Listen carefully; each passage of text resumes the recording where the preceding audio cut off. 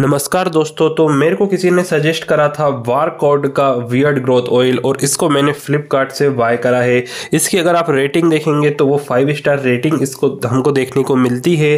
अब हम बात करते हैं कि जो वार्ड कोड का वियर्ड ग्रोथ ऑयल है, ये कैसा है? ये एकदम हंड्रेड परसेंट नेचुरल है और ऑर्गेनिक भी है। आप फ्लिपकार्ट से सब कुछ इसके बारे में चेक कर सकते हो। दोस्तों वार्ड कोड के अगर वियर्ड ग्रोथ ऑयल की बात करिए पैकेजिंग की तो पैकेजिंग काफ़ी शानदार है और कांच की यहाँ पर बॉटल मिलती है। कंपनी फालतू का कुछ ज़्यादा मेंशन नहीं करती है, क्योंकि बड़ी बड़ी कंपनियाँ फालतू का मेंशन कर देती हैं और उनके प्रोडक्ट में दम नहीं रहती है। ये एकदम नेचुरल प्रोडक्ट है, आप इसके रिव्यू फ्लिपकार्ट से यहाँ पर रीड कर सकते हो।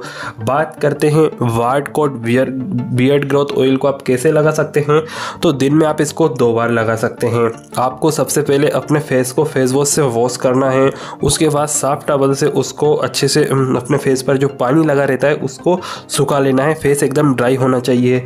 उसके बाद इसके तीन से चार ड्रॉप आपको लेना है और उसके बाद अपने फेस पर लगाना है और रात भर लगा रहने देना है और सुबह नहाने के बाद भी आप लगा सकते हो। अब अब जो भी नॉर्मल सा मेकअप करते हो क्रीम वगैरह यूज़ करते हो, उसके बाद भी इसको लगा सकते हो।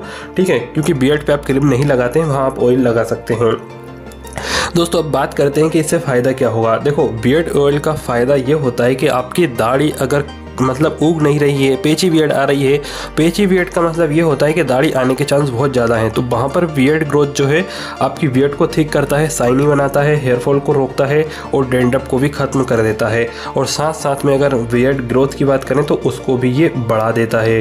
अब मैंने इसको लगाने का तरीका बता दिया है आपको और फ़ायदे भी यहाँ पर मैंने आपको बता दिए हैं। बात करते हैं नुकसान की।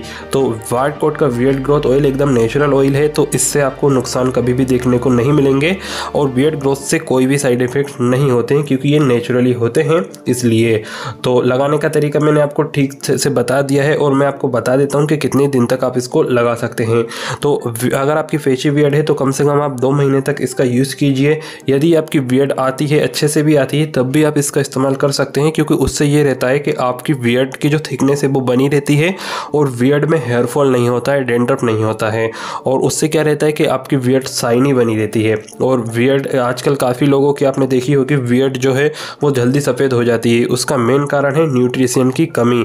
अगर आप बियर्ड ग्रोथ ऑयल से अच्छे से मसाज करते हैं तो वहाँ पर ब्लड सर्कुलेशन बढ़ जाता है और जो न्यूट्रिशन है, वो अच्छे से मिल पाते हैं आपकी वियर्ड को।